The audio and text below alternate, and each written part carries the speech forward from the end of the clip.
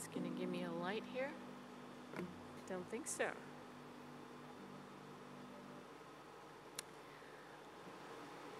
All right, everyone, uh, welcome back.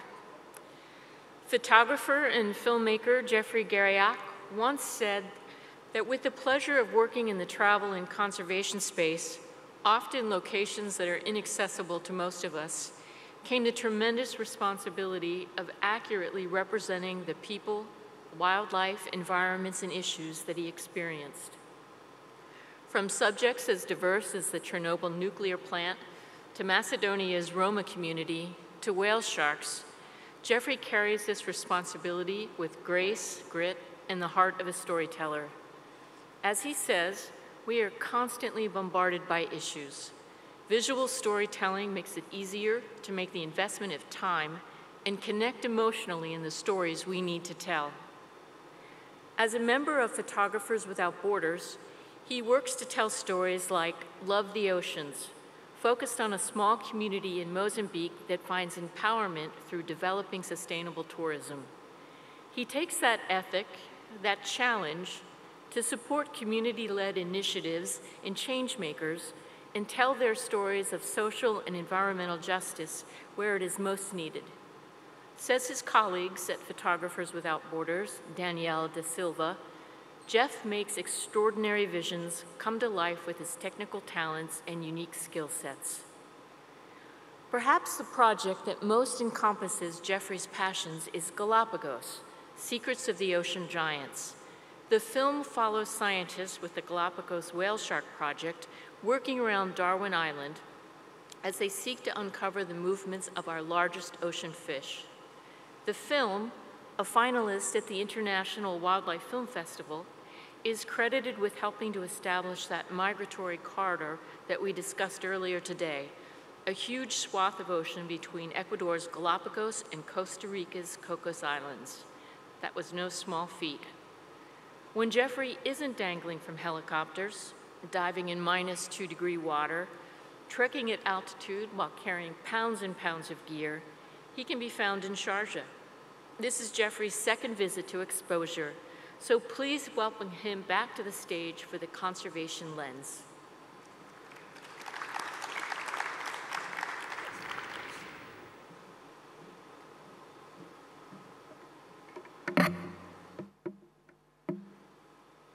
Might be the nicest introduction I've ever had. Thank you very much. All right. I would like to ask a simple sounding question that I thought I definitely knew the answer to, and that's, is this an ocean conservation photo? I think this is the sort of thing we imagine when we think about an ocean conservation photo. It's a majestic looking humpback whale, the light is nice, it's a sympathetic animal that we can all agree needs protecting.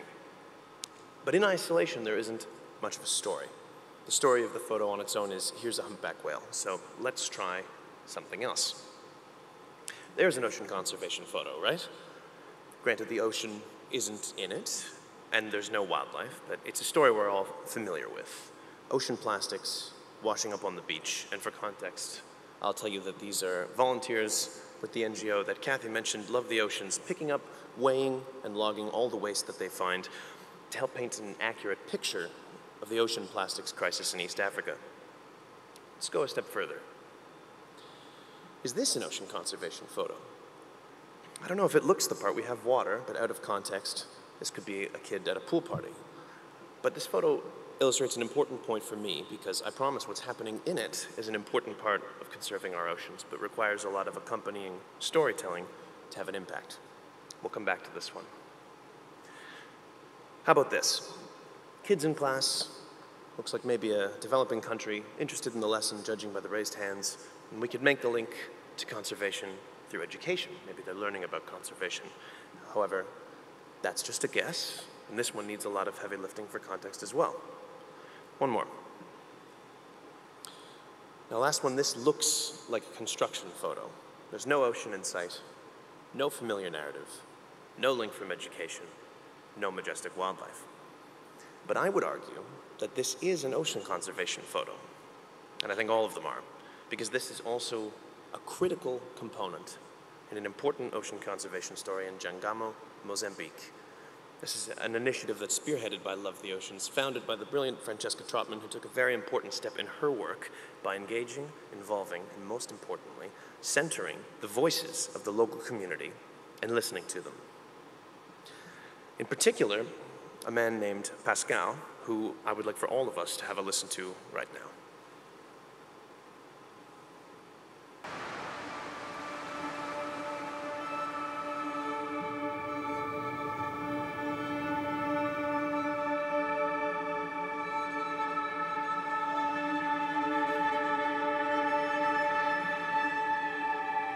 Antes da organização Lo- Love Ocean, eu trabalhava como biscateiro, assim como pescador. And this is my house. Isso principalmente naqueles pescadores que usam rede. Aqueles é que fazem uma maldade na água. As redes às vezes têm estado na água por mais dias. Os animais são pegos e voltam a apodrecer antes de sair. O nosso ecoturismo começou a cair depois que a empresa de Jatabai perdeu o seu proprietário. Desde ali então, a nossa área tornou-se vulnerável à pesca. A sustentabilidade da pesca na comunidade tem ido bem em períodos, não quase todo o tempo. A maioria do tempo, o maré está, temos mau tempo e não conseguimos entrar. Mas nos dias em que o maré está bom, conseguimos sustentar as nossas famílias.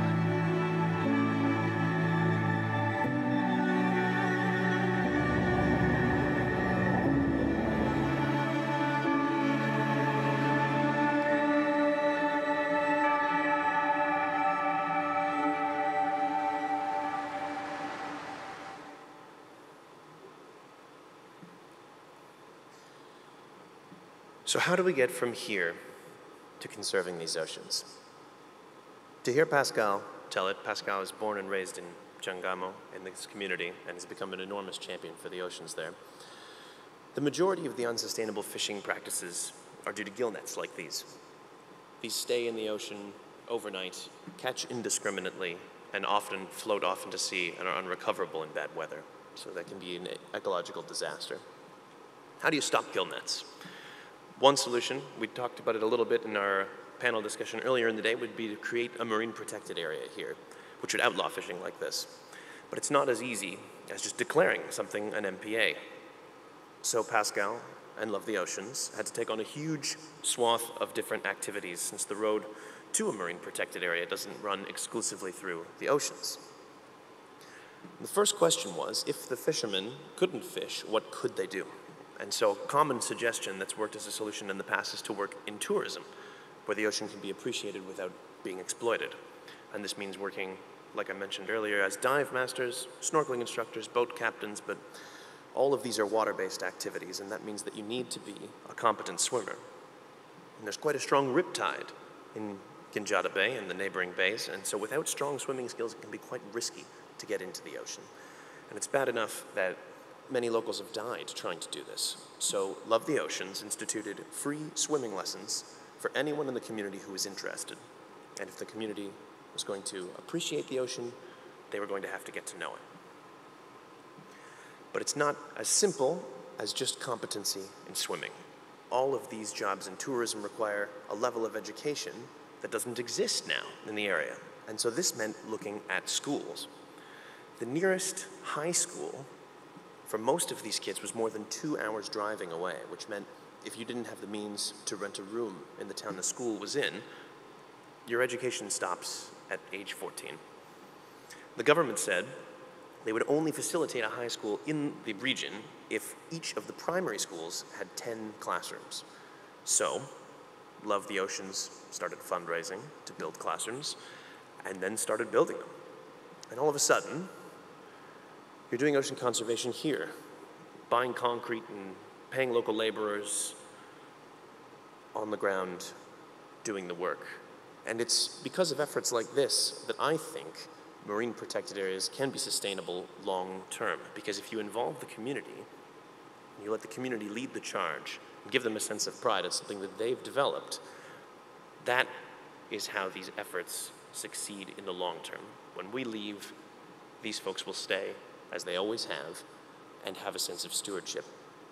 So, I think all of these are ocean conservation photos, because it turns out for me anyway, ocean conservation doesn't always look like how I pictured it. So, most of the folks who spoke today need very little introduction, but I'm going to provide you a little more about myself just to help you understand how I arrived here in Mozambique, contemplating what constitutes ocean conservation. I've always been a filmmaker, but I broke into the industry working in sports in Toronto, a long way from ocean conservation. And I was never a sports fan before, but I have become quite a big one, and I've worked very hard to live up to the Canadian stereotype of being a die-hard hockey fan. Go Leafs, go. But what I always wanted to do was travel. I wanted to make images for National Geographic, which is why it is such a treat for me to share the stage with so many of my distinguished colleagues today. After a few years, I got lucky and I broke into the travel and tourism industry working for a company called G Adventures. And thanks to them, I was able to see the world and I was given a front row seat to the effects, both positive and negative, of tourism on our planet. And it was about then that I started working for a not for profit called Photographers Without Borders, which introduced me to the grassroots efforts that NGOs around the world take towards protecting civil liberties and promoting education and, of course, conservation. And so it was from this palette of viewpoints that I realized something had changed since I was a young, wide eyed kid watching Blue Planet. I always wanted to shoot natural history and wildlife, and now that was completely inseparable from conservation. And so I decided since you can't be a wildlife filmmaker without being a conservationist, you might as well do your best to try and be good at both.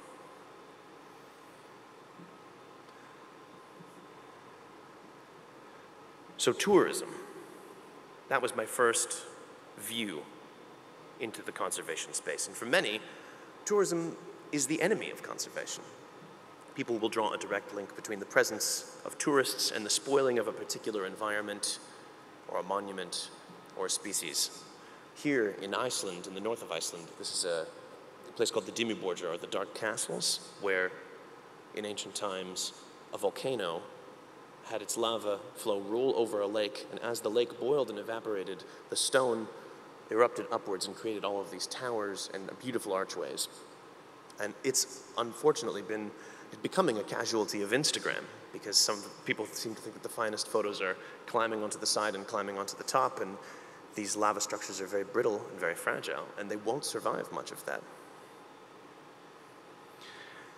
Camping is, can be another enemy of conservation if it's not done correctly. If you follow leave no trace practices and you're careful to take out everything that you take in, it can be a wonderful thing and a brilliant experience. But if not done sustainably, you risk damage to single sites that are used again and again. You change the behaviors of the wildlife around you. And this, the dreaded wildlife selfie, is one of the great enemies of conservation. A, because it encourages people to interact with wildlife in a very unsustainable way. And B, because especially in a place like Antarctica where there are no land predators, it, it completely can change the behavior of a number of different species. And the problem with this is that it promotes other people to want the same type of photo and chase the same type of photo, and it becomes an exponential drive for these types of photos. But tourism does not have to be the enemy of conservation. I think that tourism can very often, when done the right way, be a force for good. And so I would like to play you the voices of Natasja van Gestel, who works at Palmer Station in Antarctica as a researcher, and Jonathan Green, who's a friend of mine who I met uh, when he was expedition leader on the G expedition on a ship that I first traveled to Antarctica on to talk a little bit about what the positive impacts of tourism can be.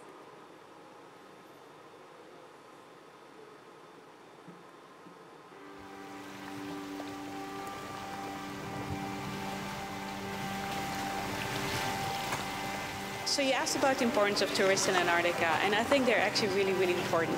It's so exciting for me to, to talk to tourists, and because they are excited about being here. And I just think that whenever they come here and they see for themselves how beautiful and pristine it is, and just overall that they they bring this experience back and they will be a spokesperson for what's happening um, you know globally because what Antarctica is kind of certain areas are in peril, climate change, and there's still a lot of skepticism out there. And if people see for themselves how quickly the glaciers are retreating and all that, I just think that's really, really valuable. And just to have them see the pristineness of this area, it just makes them appreciate our planet even more. And I think that's really, really important. An ambassador for Antarctica is someone who's been to Antarctica and finally realizes the importance of this place, the, the, importance of conserving, preserving it for the future. What we're creating is awareness. So we hope that these people will go back from Antarctica having lived an impossible dream and they'll spread the word about the importance of preserving places, these great wildernesses. Because if we don't have awareness, then there will be no future for uh, conservation. Antarctica is inaccessible for, I would guess, 99% of the human population. And anything that's out of sight, out of mind, is in danger of being forgotten about and therefore exploited and not preserved for the future. And I think the more people that know about it, the much higher the opportunity or the uh, possibility that we'll take care of Antarctica.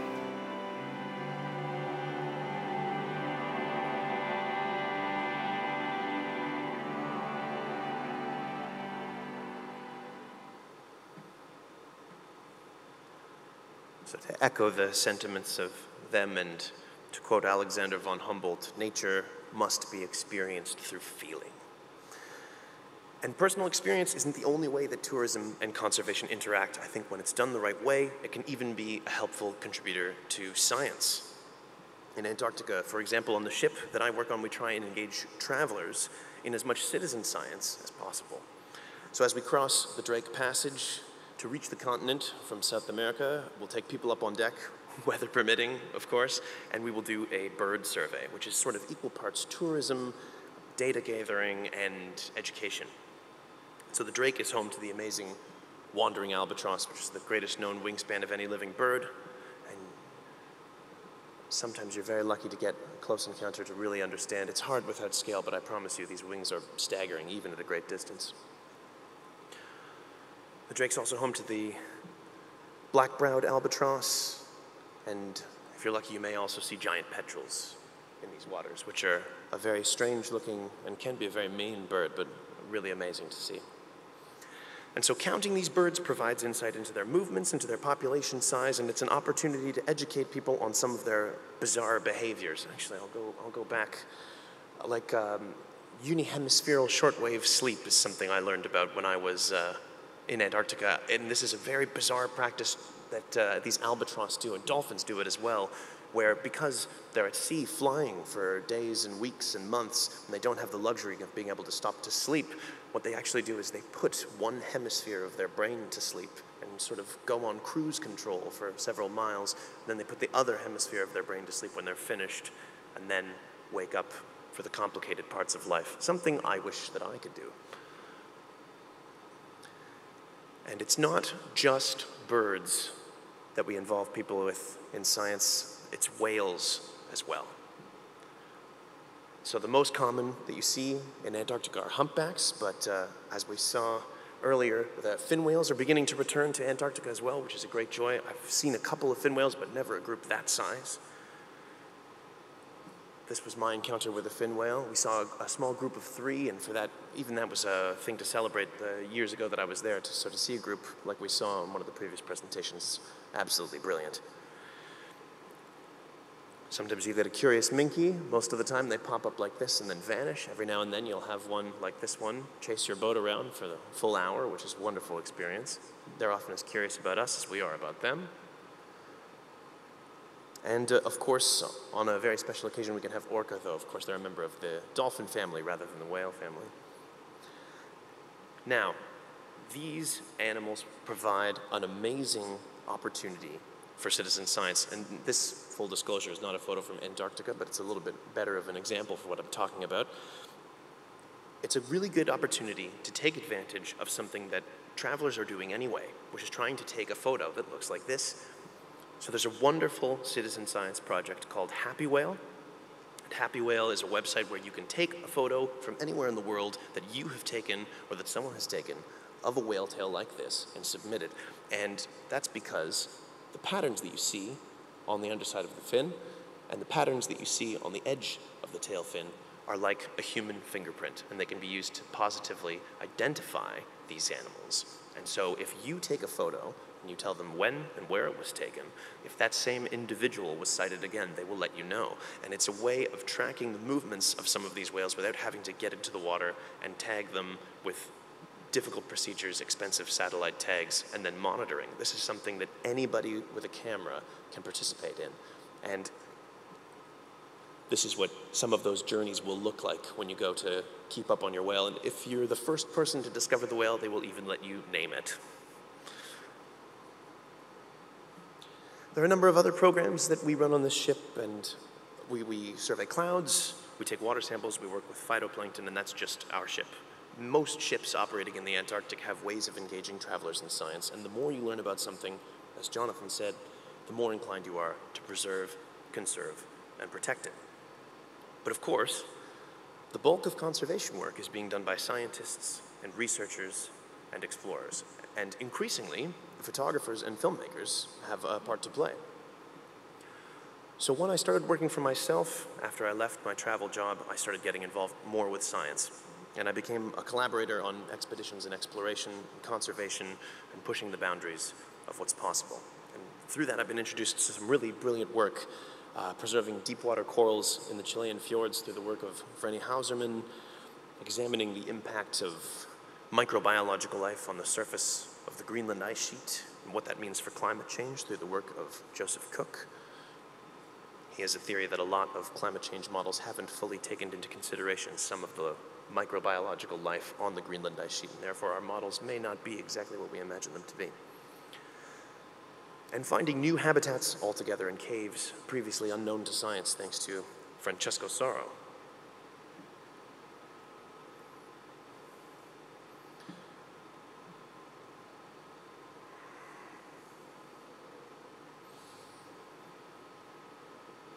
Scientific viewpoint in conservation stories has always been important. But what's beginning to change, I think, is who it's important for. Many scientists that I've worked with have told me that multimedia is now a critical part of fieldwork. And the way it was put to me was if we write a paper on our findings, it'll be read by six people in our field who already agree, and nothing will change. If we make a film about it, it might be watched by 6,000 people from all walks of life who feel like they want to do something about it. And filmmaking is also a great vehicle for explaining complex ideas in a simple way. I find with photography, you need to show and then tell. And while that can be a wonderful combination, in the Instagram, TikTok, Instagram gratification environment that we live in, often the patience doesn't exist for the accompanying text to a photo, which is a shame. We see the photo, we like the photo, and we move on. So appetite for video is growing constantly, and I think that's because you can both show and tell in the same moment. So let me give you an example. If you have a casual interest in biology, you'll have heard of scientists tagging animals. I uh, thank Simon Pierce, my collaborator, for this photo. I did not take this photo. And I always knew that tagging animals was something that scientists did, but it wasn't explicitly clear why they were doing it. I had a loose understanding that these devices were for tracking animals, but beyond that, I didn't know. And so this is a great opportunity, I think, for conservation filmmaking to fill in the gaps for you. So I'd like you to watch Jonathan Green explain exactly how these tags work and what he hopes to achieve by using them on whale sharks in the Galapagos.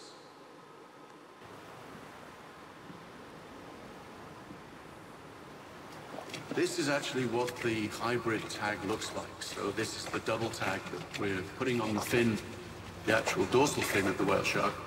The two tags, this is the spot tag. Here we have the mini pat. Serve two different purposes. So the spot tag basically gives us the position every single time that whale shark comes to the surface. So it has a sensor here. This is a wet-dry sensor. Together with the antenna, these basically detect the moment that that tag is above the surface. So anytime that the whale shark comes close to the surface, this will then transmit position to the Argos satellite system, and we will receive a message telling us exactly where on the surface of the ocean that tag or that whale shark may be at that moment. However, what's happening in between times, between those messages underwater, we don't know.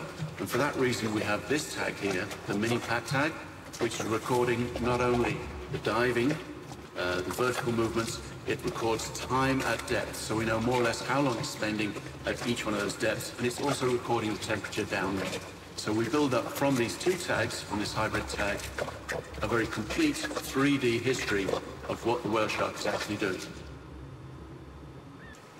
So this data will show the movements not only on the horizontal plane, but also on the vertical plane. So we'll be able to see what they're doing, where they're diving specifically. So if they're diving on particular features, and hopefully with that kind of data, we can then suggest areas that need to be protected, made into marine protected areas. Whale sharks, of course, are protected in areas like Galapagos, so whilst they're within the marine reserve, they're protected in this area. But the moment they move out of the marine reserve, uh, the industrial fishing fleets are waiting very, very closely nearby. So they're now being targeted by fishing fleets, and unless we can protect them throughout their reproductive or li- throughout their life cycle, unfortunately, they really have no future. So that brings us neatly to the Galapagos, where I think everything that we've been talking about intersects. Conservation is at work here through science, through community, and through tourism, thanks in part to one incredible animal, the whale shark. So in 2019, while working in Antarctica, I met Jonathan and we became friends. He's a part time Antarctic expedition leader, part time whale shark researcher, very interesting person. And I visited the Galapagos Islands for the first time later that year to be introduced to his organization, the Galapagos Whale Shark Project. And so Jonathan lectures in the community on his work with whale sharks, as well as leading liveaboard diving trips in the islands with an emphasis on whale shark education. And so I was fortunate enough to join them on a science expedition to Darwin Island, and I made a film about it. Well, Darwin is a strange mystery for whale shark researchers. The animals they see here are 99% female. They're almost always 10 meters in length or longer. And they arrive to Darwin, they stay 24 to 48 hours, and then they leave. And no one's entirely sure why.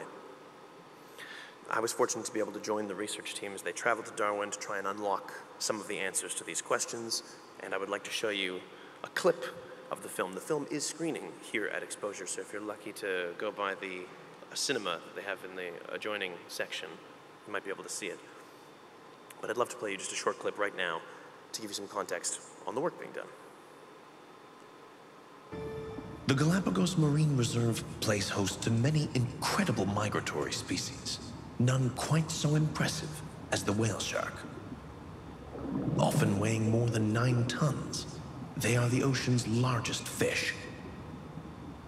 These incredible animals are well protected here in Galapagos, but spend most of their lives in the open ocean. These islands provide a rare platform from which we can study one of the least understood animals on our planet. Esos son los puntos que estamos intentando um, investigar. Jonathan Green is a naturalist who's worked in the Galapagos for more than three decades. His time here has been largely spent underwater, trying to shed light on the mysteries of these ocean giants. It's important that we understand whale sharks, and in order to understand whale sharks, we must study them. Without baseline data, without a full understanding of their natural history, you can't really attempt to protect them for the future. We know that whale sharks have been fished for thousands of years, but obviously by small native communities, they've taken very small numbers. Unfortunately, during the 1980s, the 1990s, they become a large part of the bycatch of industrial fisheries, and now they've actually become a goal of industrial fisheries as well. They're being taken for their fins, they're being taken for their oil, and they're being taken in numbers which could possibly be thousands or tens of thousands, even hundreds of thousands each year. We just don't know. Jonathan has assembled a team of the world's foremost whale shark researchers in an effort to better understand these creatures so that they can be protected not just here in Galapagos, but around the world.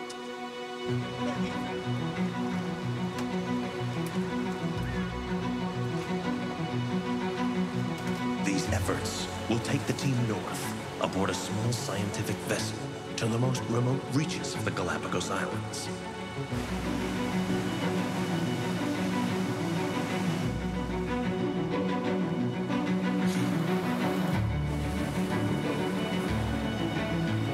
It is here, in just the right season, that one can encounter whale sharks as they transit these waters.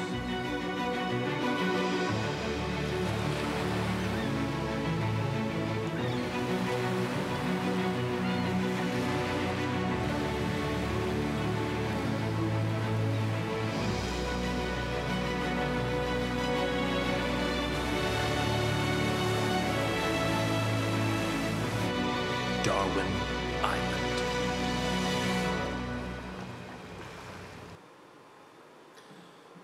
It's a small independent production, so we couldn't get David Attenborough, so you have to put up with my voice doing a terrible impression. The last thing I want to talk about today is the importance of hope. The news cycle these days has a lot of grim pronouncements on the forthcoming end of the world, and many of the stories we hear about our environment are stories of loss loss of species, loss of habitat, and loss of hope. And this is because these things are true. We are losing species and we are losing habitat, but I would encourage you not to lose hope because hope is a great driver of effort. It encourages people to care. It invites you to imagine a better future. And I think it's very hard to dedicate yourself to anything if you can't imagine a better future. So, how, as creators, can we manifest hope? I think we can talk about wins. Mozambique, Love the Oceans, has its classrooms and is getting a high school. They're going to convert the school in a nearby community into a high school, and then the two local schools are going to become a primary and a secondary school, respectively, so education will be available for kids in all three communities up to the age of 18. That's a win. In Ecuador, the Galapagos Whale Shark Project as Kathy mentioned earlier, we were able to provide tracking data of a shark tagged on one of their expeditions using the long hypothesized swimway from Galapagos to Cocos. And at the UN Climate Change Conference in November, Ecuador declared it was going to expand its marine park boundary to protect the swimway between Galapagos and Cocos as part of a joint international effort with Costa Rica.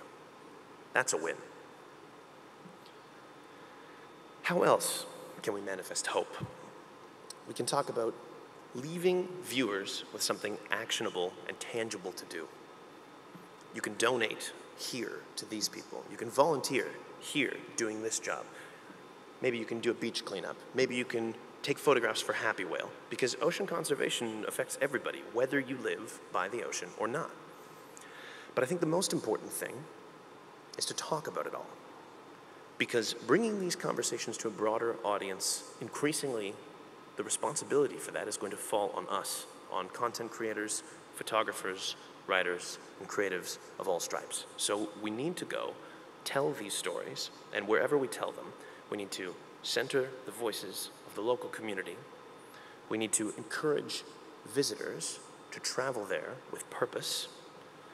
We need to amplify the voices of our scientists and the wider scientific community and make sure, no matter how bleak things may seem, we need to continue to find reasons to be hopeful. Thanks very much.